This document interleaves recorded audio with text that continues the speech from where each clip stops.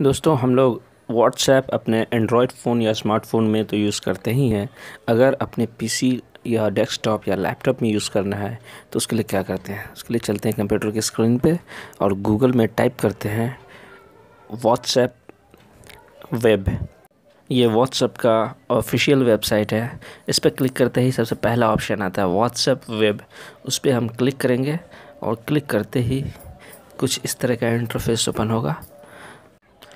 Q R code Q R code को scan करेंगे अपने मोबाइल फ़ोन के व्हाट्सएप से।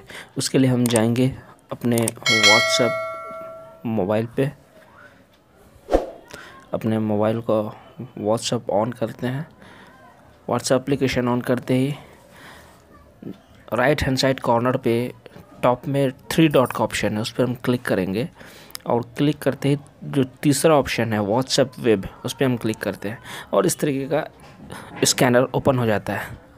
अब कैमरा स्कैनर ओपन होते ही हम उस क्यू आर कोड को स्कैन करेंगे। इस तरीके से हमारा व्हाट्सएप अपने डेस्कटॉप या पीसी या लैपटॉप में ओपन हो जाएगा। अब हम इजीली यूज़ कर सकते हैं।